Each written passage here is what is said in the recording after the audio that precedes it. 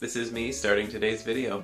I'm really, honestly, not even sure what to say. I've done 147 videos so far, so I'm kind of wearing thin of what to say when I start a video. And we've got something like uh, another 150 to go, don't we? 200 maybe. Learn to count. What? Learn to count. How many have we done? Well, How many have we done, do you know? 140. 140 something. Mhm. So 150 plus 150 is 300. Mhm. So I said 150 there, and then another 50 more after that. So it's actually more like another 65 after that. Yeah. But I'm just not sure of the number, so I'm estimating. So 150 plus 65. Yeah, I guess, if we're rounding up to 150 videos as of now. Math. This is assuming, of course, that we can both remember how many days are in a year, which I can't usually. I think it's 365, but it could be wrong.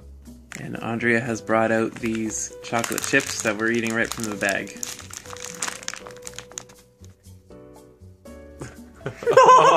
We need to go shopping. It'll probably be a good while before we manage to go too. Welcome to Hat Cam. It will be the way that you will be viewing my walk home from work for the next little while.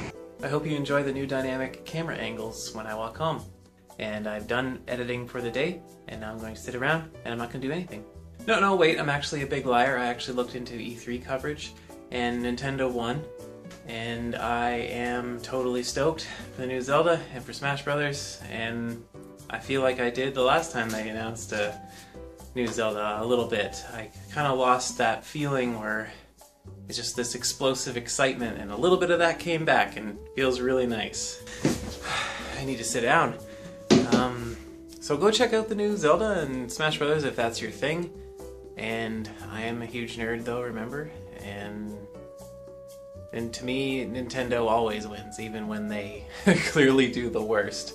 So, I mean, I'm pretty biased. You can't really take my word for it. But this time, it's definitely a huge improvement. That's all for today.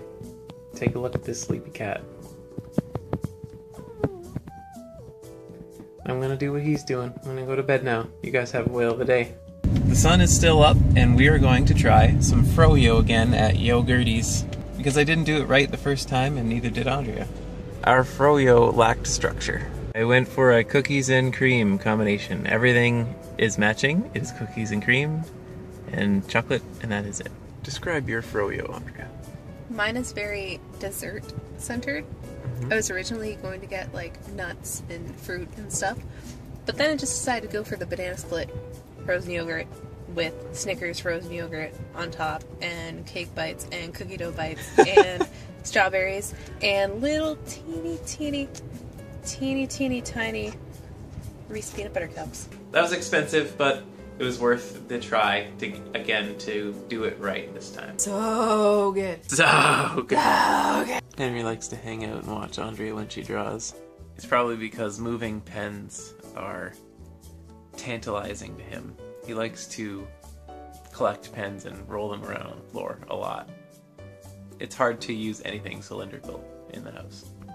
Good thing these are shaped like triangles.